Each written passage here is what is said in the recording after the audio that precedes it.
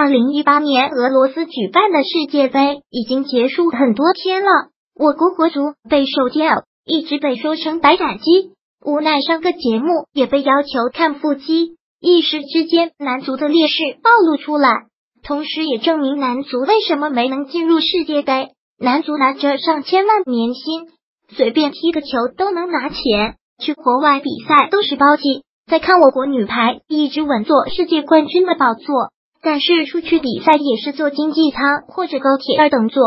女足更加是长期吃着简单的饭菜，男足一顿都是二百元，简直是没法比。值得一提的是，足协副主席李玉丽提出了意见，中超收入上涨百分之二十六。我的天啊，这简直是我拿上一年薪的节奏啊！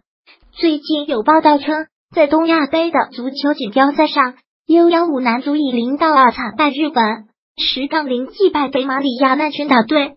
本来是一件很高兴的事情，但是调查发现，北马里亚群岛居住人口只有八万人，参加比赛的选手都是业余的，纯粹是喜欢想为国出战。